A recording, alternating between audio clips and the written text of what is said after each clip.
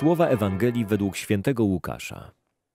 Spośród swoich uczniów wyznaczył Pan jeszcze innych siedemdziesięciu dwóch i wysłał ich po dwóch przed sobą do każdego miasta i miejscowości, dokąd sam przyjść zamierzał. Powiedział też do nich, żniwo wprawdzie wielkie, ale robotników mało. Proście więc Pana żniwa, żeby wyprawił robotników na swoje żniwo. Idźcie, oto was posyłam jak owce między wilki.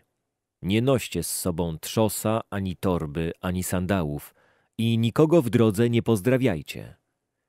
Gdy do jakiego domu wejdziecie, najpierw mówcie pokój temu domowi. Jeśli tam mieszka człowiek godny pokoju, wasz pokój spocznie na nim. Jeśli nie, powróci do was.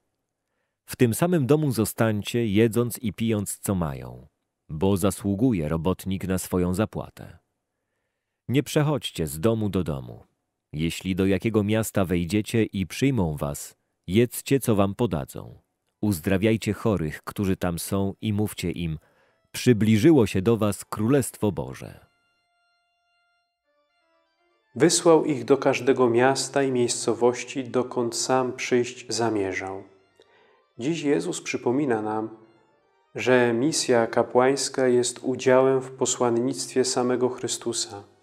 Duchowni nie głoszą dobrej nowiny we własnym imieniu, ale z polecenia i w oparciu o autorytet Boga.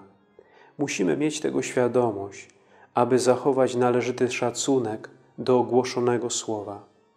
Nie wolno nam głosić samych siebie, stając się celebrytami. Trzeba nam tak głosić Słowo Boże, aby Bóg stawał się obecny w sercach słuchaczy. Drugą sprawą jest przyjmowanie posłannictwa współczesnych apostołów. Czy jesteśmy otwarci na nauczanie, jakie głoszą w imieniu Chrystusa duchowni? Czy mam świadomość tego, że kiedy przyjmuję pod swój dach apostoła, przyjmuję samego Chrystusa? Czasem uczniowie bywają odrzuceni, czyli dzielą los swojego mistrza, który także został odrzucony. Kiedy jednak ludzie przyjmują posłańców Chrystusa do swojego domu, wraz z nimi na ten dom spływa Chrystusowy pokój. Na koniec jeszcze jedna uwaga. Jezus wysyła swoich uczniów wszędzie, dokąd sam przyjść zamierza. Jestem uczniem Chrystusa i wszędzie mam o Nim świadczyć w szkole, na uczelni, w pracy, w domu rodzinnym i w gronie znajomych. Nie mogę ukrywać mojej chrześcijańskiej tożsamości. Biada mi, gdy ze strachu lub jakichś obaw wstydzę się przyznać do Chrystusa.